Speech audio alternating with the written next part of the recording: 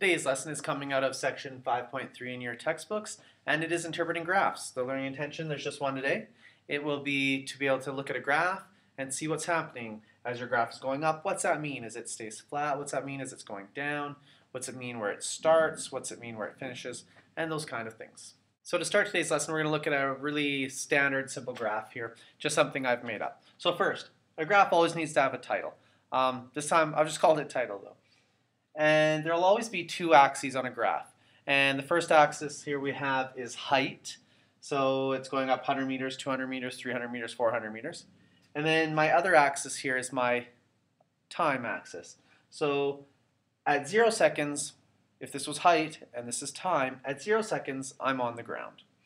And then at two, sorry, it's in minutes. And at two minutes, I've gone up to about a height of 50 meters. And then after that, I shoot up to 300 meters.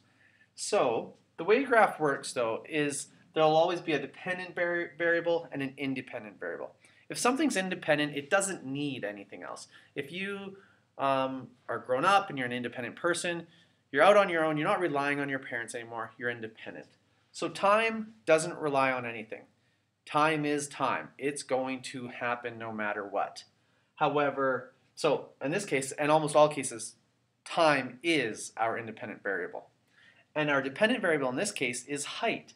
How high you are. So let's say this was a little uh, remote control helicopter. You fly your helicopter up, and then it goes higher, then it stays at the same height. So the height is depending on what time it is. Okay, three minutes into the flight, you were at a certain height. Your height is depending on what time it is. Time is just going to happen, so it's independent. So make sure you can understand these two definitions.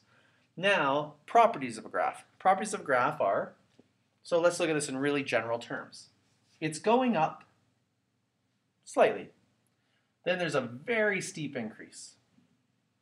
And then it's remaining at the same height. So, when it's remaining at the same height, it could mean two things. It is either hovering or it's flying along the same plane. It's not going up or down.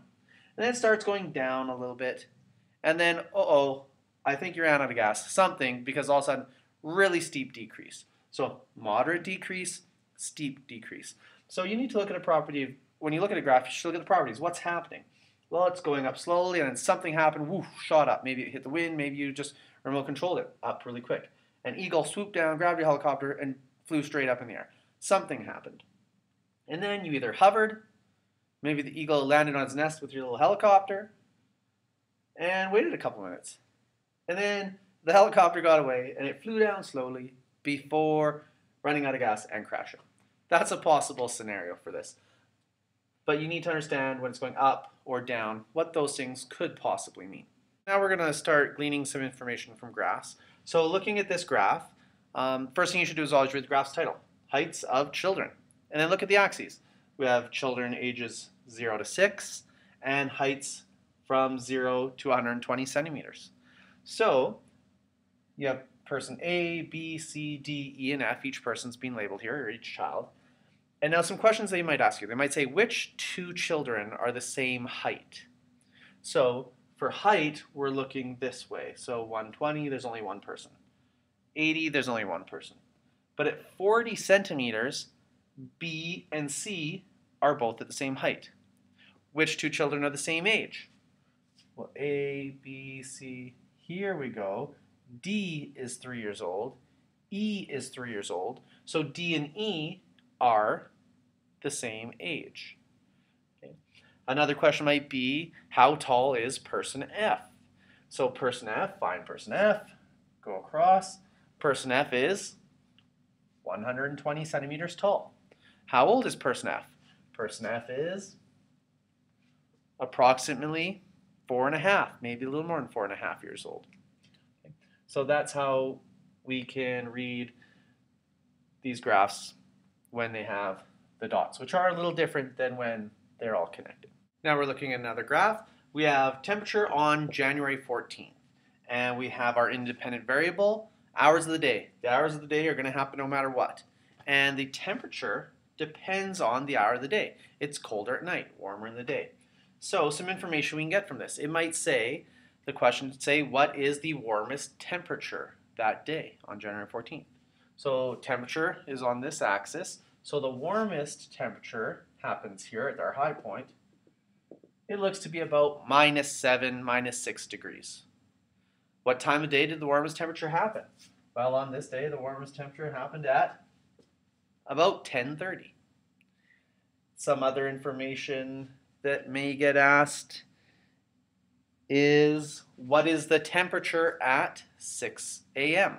So at 6 a.m., the temperature is 10 degrees Celsius. What's the temperature at 11 o'clock p.m.? 11 p.m. is 2300 hours.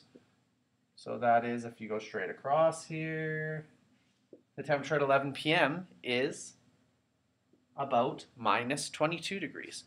So we're going to use both axes to answer any question. So what is the temperature at noon? So at noon, draw a line straight up, then go straight across. It's about minus 8 degrees. Okay? So it's important that you be able to read different graphs and understand whether the graphs where we have the dots, whether it's continuous graphs, whether it's non-continuous graphs where maybe there's a break in the graph at some point. You need to be able to understand these graphs. Your assignment for your textbook for today's lesson is page 281.